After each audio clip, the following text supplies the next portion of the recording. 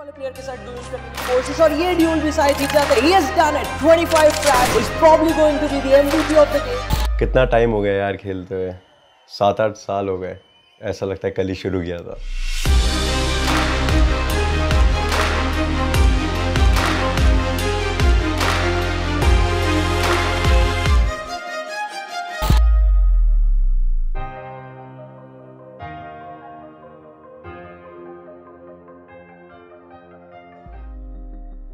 कोई बिलीव करे ना करे बट स्टडीज़ एंड स्पोर्ट्स दोनों में हमेशा अच्छा हुआ करता था। उस टाइम पे मैं काउंटर साइक वन परसेंट कैजुअली खेलता था बट मेरे को मुंबई शिफ्ट होना पड़ा एक साल के लिए डैड के बिज़नेस की वजह से। बट डैड ने उतना ही मेरे को सपोर्ट दिया। उधर भी नया स्कूल ज्वाइन कराया, उधर भी मैंने गेमिंग कंटेंट रखी, अपनी स्टडीज़ अपने स्पोर्ट्स सब कुछ। एंड वहाँ से मेरी असली ज़िंदगी की शुरुआत हुई।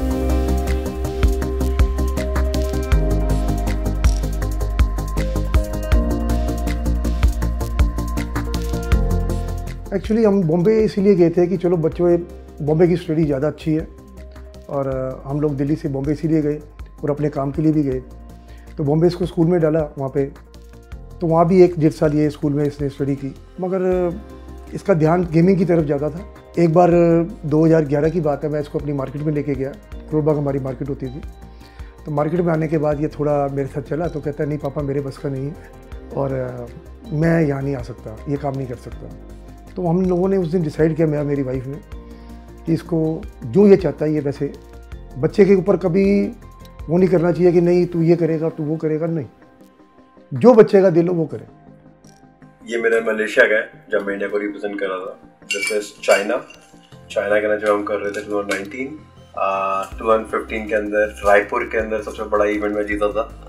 एंड ये mountain dew four times winner जब से हुआ है। ये 2019 में उन्होंने मेडल दिया था। ये भी कॉमिक्स का है। 2018 के अंदर एक टूर्नामेंट हुआ था मुंबई में। ये जीते थे उन्होंने मेडल दिया। ये बाकी सारे इंडिया शो के तो बॉम्बे के टाइम के अंदर मैं डोटा टू बहुत ज़्यादा खेलता था। फिर मेरा बर्थडे के टाइम पे मेरे दोस्तों ने मुझे एक गेम गिफ्ट करी काउंटर स्ट्राइक ग्लोबल डिफेंसिव करके।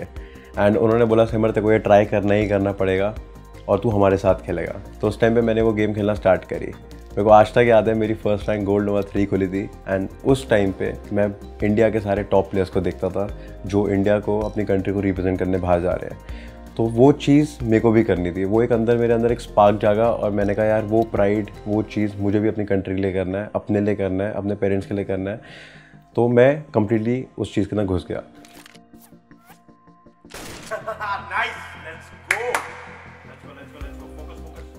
फिर इन 2014 मैं दिल्ली वापस शिफ्ट हुआ। जब मैं वापस दिल्ली आया, उस टाइम पे मेरे घर पे बिल्कुल भी एक पीसी नहीं हुआ करता था, क्योंकि मेरा पीसी मुंबई में था। मैं लाइक लिटरली मेरे को आज भी याद है, मैं अपने एक एक रुपये जो भी होते थे, पैसे बचे होते थे, मैं उससे अपनी पॉकेट मनी सेव करता था। एंड डैड से थोड़ा बहुत लेता था मॉम से लेता था। एंड जो भी आते थे मेरे पास वो पैसे में वो जोड़ जोड़ के कैफ़े जाना स्टार्ट हुआ। उस टाइम पे जो भी गेमर्स जो होते थे इंडिया के, जिनके पास पीसी नहीं होते थे घर पे, वो भी मेरी तरह ही गेमर्स थे जो पैसे जोड़ के आते थे और वहाँ पे कैफ़े में मेहनत करने की ट्राई करते थे। फिर उस टाइम पे एक टूर्नामेंट आया E S W C two अगर आप वो जीतते तो अब वो बंदा इंडिया को रिप्रेजेंट करता है पेरिस में जाके। तो उस टाइम पे मैंने अपनी खुद की टीम बनाई। जैसे मैंने बोला कैफ़े कल्चर होता था उस टाइम पे सारे कैफ़े से अपनी अपनी टीम बनाते थे एंड एक दूसरे के सामने खेलते थे। एंड उससे बहुत ज़्यादा एक्सपीरियंस गेन होता था। तो मैंने भी अपनी खुद की टीम बनाई टीम न्यूसेंस नाम की। मैंने वहाँ पे जो कैफ़े में दोस्त बनाए थे, उनके साथ खेलना स्टार्ट किया, मेहनत करी स्ट्रैटेजीज़ बनाई प्रैक्टिस करी, सब कुछ किया। एंड उसके बाद लकीली टचवर्ड हम लोग क्वालिफाई हो गए। बैंगलोर के लिए क्वालिफायर के लिए जहाँ पे इंडिया की चार टॉप टीम्स आई थी एंड उनमें से एक मैं था। एंड वो देख के जो मेरे को फीलिंग आई थी मैं लाइक like, डिस्क्राइब भी नहीं कर सकता उस फीलिंग को कि बाकी इंडिया की टॉप थ्री टीम्स जिनके प्लेयर्स को मैं देखता था इंडिया को रिप्रेजेंट करते हुए मैं उनमें से एक हूँ अपनी खुद की टीम लेके वहाँ पे जाके जब मैं एक सोलह साल का बच्चा था। वहाँ पे जब मैं एक मैच जीता मेरे लिए तो बहुत बड़ी बात थी बट कुछ लोगों के लिए नहीं थी। तो वापस जब मैं दिल्ली आया वही back to same routine mom dad से बिल्कुल ऐसे बैक कर करके प्रैक्टिस करने के लिए मैं काफ़ी ज़्यादा स्टार्ट हुआ वापस। वही नाइट पास वही सेम पीसीज फिर मेरे को एक चीज़ याद आती है कि मैं प्रो सीन में कैसे घुसा। एंड वो चीज़ बहुत ही ज़्यादा अलग थी मेरे लिए क्योंकि वहाँ से मेरे को स्पार्क मिला कि नहीं समझ तेरे अब कुछ करना ही करना है। तो हम सारे कॉफ़ी पी रहे थे, सीढ़ियों पे खड़े होके एंड उस टाइम पे एक रैंक बहुत बड़ी चीज़ होती थी। बाकी सबसे बाकी सब दोस्तों से मेरी रैंक कम थी।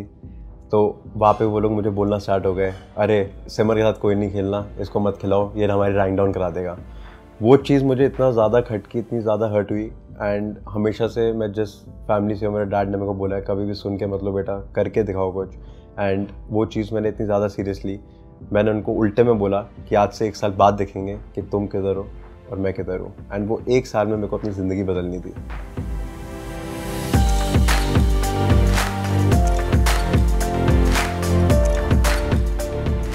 उस टाइम पे मैंने सबसे पहली चीज़ क्या करी? मैं सीधा भागता हुआ घर गया। मैंने घर वालों को बोला प्लीज़ मेरे को एक साल दे दो और मैं आपको कुछ बड़ा करके दिखाऊँगा। आपने मेरे पे इतना भरोसा करा है थोड़ा सा और। बहुत दिनों बाद, बहुत कन्विंसिंग के बाद, बहुत गालियाँ खाने के बाद घर वालों ने बोला कि छः महीने ले छः महीने में हमें दिखा तू क्या कर सकता है। वरना समर, तू स्टडीज़ पे ही पूरा फोकस करने वाला है और तू, देखो जो लाइफ में आगे करना तो वो करेगा बट तेरे पास छः महीने हैं। तो गेमिंग की हमें नॉलेज नहीं थी, कुछ नहीं थी। मगर फिर भी बच्चे का इंटरेस्ट देख के मैं और मेरी वाइफ हम लोगों ने ये डिसीज़न लिया कि इसको छः महीने का टाइम दिया जाए, कि छः महीने के अंदर ये अपने बारे में कुछ करके दिखाए। तो ठीक है। तो उस टाइम 2014 में इसने स्टार्ट किया छः महीने का। और नॉर्मली पाँच सौ हज़ार रुपया जो ये माँगता था, हम इसको देते थे। बच्चे के लिए अपने बच्चे के लिए कुछ भी नहीं है। तो हम लोगों ने यही इसको बोला कि अगर तू दो छः महीने के अंदर अगर कुछ नहीं कर पाता तो बेटा तेरे को फिर हम आगे देखते हैं क्या करना है। उस टाइम पे नेक ब्रेक इंडिया की one of the best organization हुआ करती थी। एंड मेरे को नेक ब्रेक से जब ऑफ़र आई थी, एक टूर्नामेंट के लिए आई थी, जिसमें मेरे को स्टैंड इन करना था। मैं उस टूर्नामेंट का एम बना यंगेस्ट एम मैंने उस टूर्नामेंट में इतना मारा कि 50 percent of the Indian gaming community मेरे अगेंस्ट हो गई। एंड बाकी के 50 परसेंट मेरे साथ हो गए। आज भी याद है, उस टाइम पे दो लोग थे जो आज भी है, एक ब्ले और एक्वाटास करके। उन्होंने मेरे को फुल सपोर्ट दिया था उस टाइम पे फॉर्चुनेटली एंड उन्होंने कहा था कि नहीं, इस लड़के में कुछ टैलेंट है और ये हैकर नहीं है। 2015 के अंदर टीम ब्रोटैलिटी करके एक टीम थी। उन्होंने मेरी परफॉर्मेंस देखी।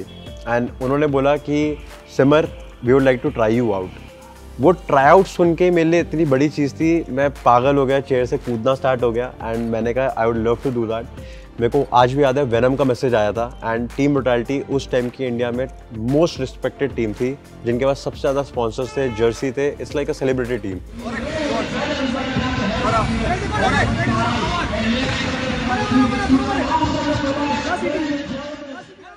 मैंने हाँ बोला उनको 2015 की बात है एंड उसके अंदर, दो महीने के अंदर ही हम इंडिया की पहली टीम हो गए, जिन्होंने दुबई की यूएई की बेस्ट टीम को 2-0 हराया। एंड टूर्नामेंट जीत गए। ऐसे करते करते हम दो तीन टूर्नामेंट जीते एंड एक रात को मेरे को वेनम का मैसेज आता है, Simar Singh Sethi we would like to sign you are you interested वो पढ़ते ही मतलब आज भी गूजम्स आते हैं बॉडी के अंदर कि मैं, मैंने चेयर पटक दी, मैं कूदना स्टार्ट हो गया, मैं भागता हुआ पापा के कमरे में गया, मैंने पापा को बोला, पापा, मुझे एक बहुत बड़ी टीम टीम ब्रुटैलिटी नाम की टीम से ऑफ़र आई है। क्या मैं खेल सकता हूँ? Please and like I said उस टाइम पे मैं टूर्नामेंट से प्राइज विनिंग्स जीतना स्टार्ट हो गया। उस टाइम पे डैड को भी दिख रहा है कि स्पॉन्सर्स है जर्सीज है, मेरा बेटा ट्रैवल करेगा आर्टिकल्स आ रहे हैं उसके हर जगह। हम तो उसको सिमर सेठ ही बुलाते हैं सिमर बुलाते हैं प्यार से, पर लोग उसको साई बुलाते हैं पी एस वाई तो डैड ने मेरे को उस टाइम पे फुल सपोर्ट दिया मॉम ने भी फुल सपोर्ट दिया एंड मैंने उस टाइम पे टीम रोडाल्टी का साइन कर दिया।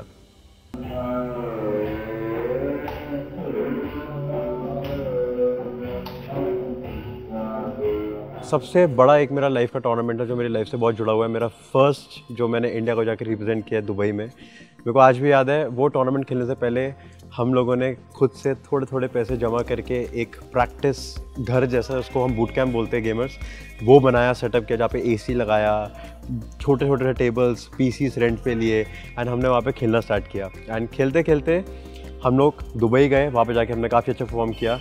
एंड उसके बाद 2015 जब एंड हो रहा था वो साल तो वो साल एंड होते होते अब एज अ प्लेयर मुझे भी आगे और ग्रो करना था एंड टीम के अंदर चीज़ें वर्कआउट नहीं हो रही थी तो हमने सोचा लाइक like, इंडिविजुअली मैंने अपना सोचा कि आई थिंक अब मेरे को एक न्यू स्टेप लेना चाहिए लाइफ में, क्योंकि अब मेरे को थोड़ा सस्टेनेबिलिटी के लिए थोड़े पैसे कमाने भी बहुत इंपॉर्टेंट है, क्योंकि प्राइस विनिंग से तो हम ज़रूर जीतते थे बट वही बात आती है कि एक सैलरी जो उस टाइम पे आनी स्टार्ट हो गई थी इंडिया के अंदर लाइक आई सेड की गेमिंग इतनी बूम हो रही थी तो सैलरीज भी आना स्टार्ट हो गई थी। जैसे लोग अपनी जॉब में नाइन टू फाइव जॉब करके पैसे कमाते हैं, वैसे गेमर्स भी ये एक प्रोफेशन बन गया था लोगों का गेमिंग एंड लोग पैसे कमाना स्टार्ट हो रहे थे। तो मैंने कहा मुझे भी सिमर करना है एंड देन मैंने सोचा सोचा and in two fifteen and मैंने ब्रोटैलिटी को बबाई बोला टीम छोड़ी एंड देन मेरे को 2016 स्टार्टिंग में एक organization called invisible wings offer I and I still remember they offered me eleven thousand rupees per month and वो ग्यारह हज़ार पे मिले ग्यारह लाख के बराबर थे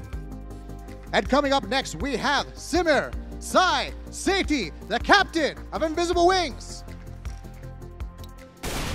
He might be able to get the Oh, killer inside. offer. And Gets the uh, offer. but they're gonna pick it up. oh no, Metal's got to peek sometime now though, and he's got to get the kill. But A-Star does he have the time? I, I don't think he he's got does. the time. I don't think he's got the time at this point. No, he doesn't. He doesn't have a kid. The bomb, and this is such absolute harbor of brutality. But Invincible Wings will take the map. It's going to be 1-0 for Invincible Wings, 16 to 11 there. इतनी छोटी as में seventeen years of as में मैं जब ग्यारह हज़ार पे कमा रहा था मेरे पेरेंट्स तो प्राउड थे ही और मैं खुद पे बहुत ज़्यादा था वहाँ से फिर मेरा 2016 का करियर स्टार्ट हुआ। मैं youngest captain and I of India बना। 2016 के अंदर भी हम अनबीटेबल रहे इंडिया के अंदर। एंड देन उसके बाद इनविजिबल विंग्स डिसबैंड हो गई। तैयार की लाइन तो हमारी इसने पहले ही मना कर दी थी। और उसके बाद इसने काफ़ी अच्छा परफॉर्मेंस दी मेडल वगैरह जीते। और, कुछ टाइम बाद 2016 में इसने हमारे को पापा, ये मैं लेके आया हूँ पैसे और आप ये रखो। तो सिमर को हमने सिर्फ़ यही बोला, आप बेटा अपने अकाउंट में डालो। हमें खुशी है। और लास्ट में हमें ये अच्छा लगा कि ये सिमर अपने पैरों पे स्टैंड हो रहा है और काफ़ी आगे जा रहा है गेमिंग में। और आज की डेट में सिमर जो है, वो आपके सामने ही, आपको मालूम ही है। 2016 के दिसंबर के अंदर आई स्टिल रिमेंबर मेरे को एक टीम एंटिटी गेमिंग करके टीम से ऑर्गेनाइजेशन से offer I with a better salary with more benefits and बाकी चीज़ें।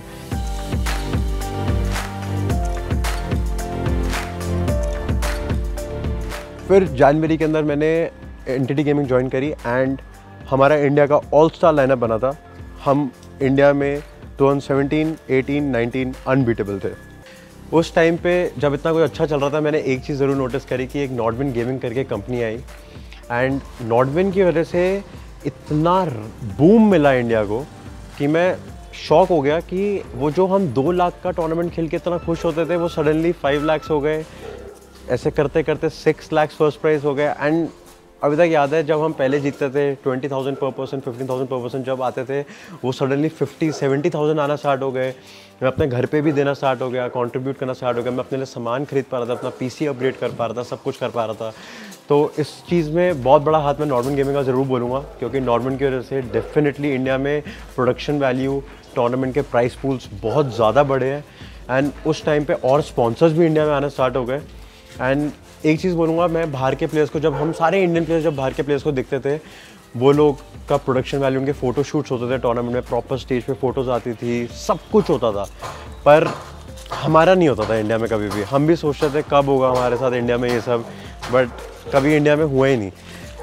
पर लाइक ए सेड जब प्राइस पूल्स नॉट विन ने हमारे बढ़ाए तो उसी टाइम पे ये भी बढ़ना स्टार्ट हुआ। उनकी प्रोडक्शन वैल्यू मुझे आज तक याद है, हमारी फ़्लाइट टिकट्स बुक होना स्टार्ट हो गई थी टूर्नामेंट्स के लिए। पीछे आके मैनेजर को खड़ा होना स्टार्ट अलाउ कर दिया था। कोच कोचेस आ गए थे। लीग ऑप्स का जो एक बंदा होता है, वो लोग हमारे लिए खड़ा करते थे, जो हमारा पीसी का सब सेटअप करके देता था। हमारी सेटिंग्स ऑलरेडी करके देते थे। हमें रिहर्सल कराते थे अगले दिन टूर्नामेंट से पहले कि आपको स्टेज पे कैसे आना है, किस ऑर्डर में खड़े होना है।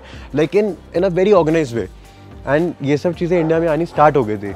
एंड वो चीज़ की वजह से इंडिया में जो भी खेल रहे थे, सारे प्लेयर्स थे उनको एक होप और उनका बढ़ना स्टार्ट हुआ कि येस इंडिया में भी ई स्पोर्ट्स एक बहुत जल्दी स्पोर्ट्स की तरह रिकग्नाइज हो सकता है।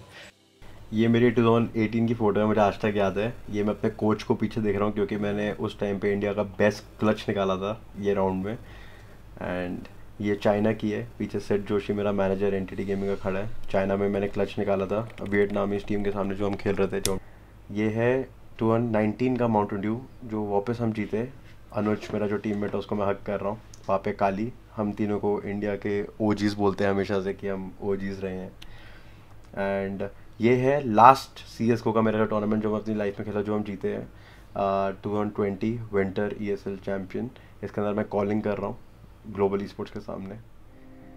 ये है ड्रीम हैक का 2018 ड्रीम हैक लास्ट में जो हम खेल रहे थे। एक टाइम था जब मैं सिमर को पैसे देता था गेमिंग के लिए कि पापा आज मेरे को 500 चाहिए हज़ार चाहिए दो हज़ार चाहिए। मगर आज की डेट में सिमर खुद मेरे पास आके बोलता है कि पापा आपको कित, कितने पैसे चाहिए? तो पापा चाहिए मैं मैं बोलता हूँ नहीं चाहिए। मगर फिर भी मेरे कबड़ में कभी बीस हज़ार कभी पचास हज़ार रुपये रख के जाता है और बहुत हेल्पफुल है। और एक फादर को क्या चाहिए कि बच्चा अगर इतना कर रहा है फादर के साथ। तो मैं बहुत खुश हूँ कि सिमर आज अपने पैरों पे स्टैंड है और काफ़ी अच्छी कर रही वही बात है, लाइफ में जब सब अच्छा चल रहा होता है, कुछ ना कुछ अप एंड डाउन भी आता ही आता है।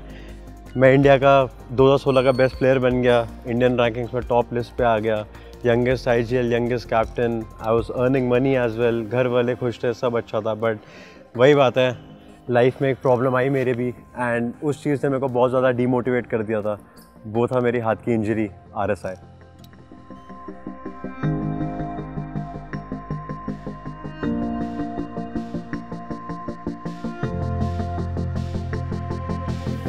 मेरे लिए यही सबसे ज़्यादा डीमोटिवेटिंग चीज़ थी मेरी लाइफ में कि सब कुछ बेस्ट होने के बाद ऑल सा लाइनअप बनने का कि मेरे को पता है कि मैं 2017 में डोमिनेट करने वाला हूँ।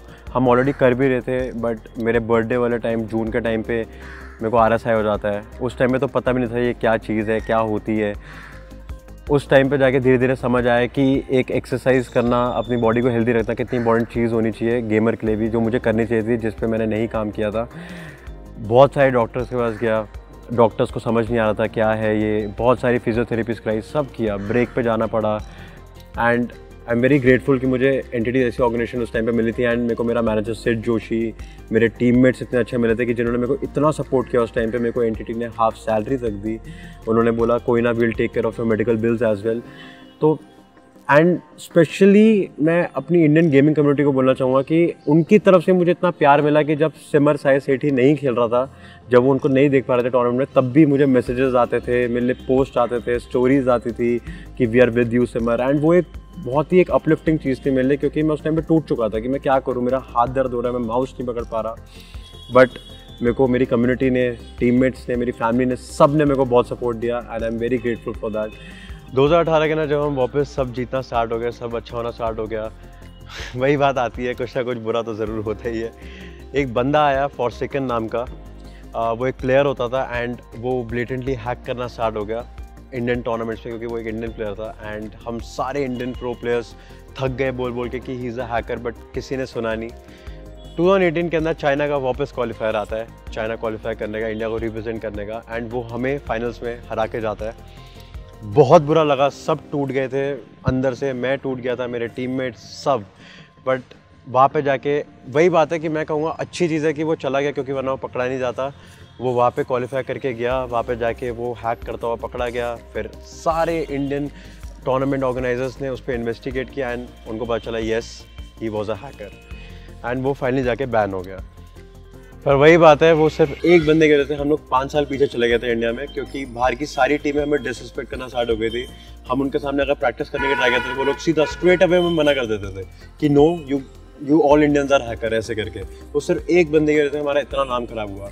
बट वही बात आती है, वो नाम हमें वापस लाना था, मेरी टीम को, मुझे, और हमने वो करके दिखाया। जब हम 2019 के अंदर वापस चाइना का क्वालिफायर आया, हम चाइना क्वालिफाई करते हैं वहाँ पे जाके हमने वियतनाम की बेस्ट टीम को 2-0 हराया। डोमिनेट कर दिया पूरा कम्प्लीटली एंड हम इंडिया का रिकॉर्ड बना गया कि किसी इंडियन टीम ने बाहर जाके लैंड पे एक दूसरी कंट्री की टीम को हराया। सब कुछ अच्छा होने के बाद 2020 के अंदर जब बाकी टूर्नामेंट्स हो रहे थे 2020 के अंदर एक लास्ट हमारा टूर्नामेंट था as an gaming as a family क्योंकि हम लोग एक फैमिली बन चुके थे जब मैं तीन साल उस ऑर्गेनाइजेशन को रिप्रेजेंट किए अपने टीममेट्स के साथ। हम लास्ट टूर्नामेंट जीते winter E S L championship वो टूर्नामेंट के जीतने के बाद हम लोग four times E S L winter champions बन गए four times mountain dew champions बन गए अनगिनत टूर्नामेंट्स के चैम्पियंस बन गए जो सब नॉर्डविन गेमिंग ने करवाए थे, उनके वजह से पॉसिबल हुए। एंड वो सब ख़त्म करने के बाद unfortunately we we had to part ways हमें अलग अलग रास्ते जाना पड़ा। उसके पीछे बहुत रीजन्स थे बट कुछ कर नहीं सकता।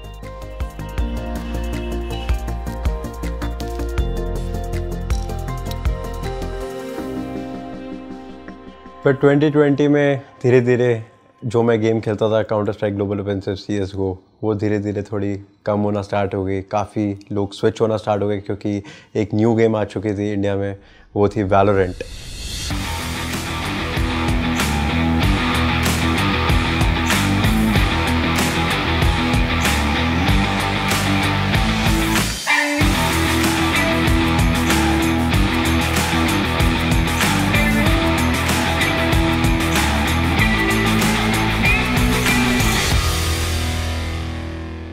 मैंने, मैं बहुत ज़्यादा दिल मेरा जुड़ा हुआ था सी से क्योंकि मैंने एक बहुत बड़ा पहाड़ चढ़ा है वो सी का एंड मेरे को वहाँ से नीचे आने में बहुत ज़्यादा डर रहा था मैं। बट धीरे धीरे मैं इवेंचुअली मैं सीखा कि एक प्रोफेशनल प्लेयर अगर इन गेम अडाप्ट कर सकता है तो आउट गेम भी उसको करना आना चाहिए क्योंकि आखिर में करियर की बात है।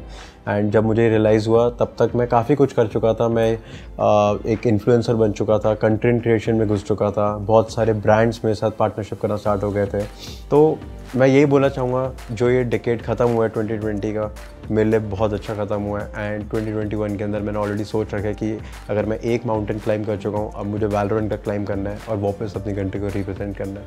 पर ये तो ज़रूर है कि 2020 कोविड लॉकडाउन की वजह से काफ़ी कुछ बहुत लोग इफ़ेक्ट हुए हैं बट इतना ज़रूर बोलूँगा ई स्पोर्ट्स में बहुत ज़्यादा बेनिफिट हुआ है बाकी लोगों को, क्योंकि बहुत लोग ई स्पोर्ट्स में आ गए हैं बहुत सारे गेमर्स भी आना स्टार्ट हो गए तो it was good and I hope जल्दी से जल्दी ये सब ठीक हो जाए।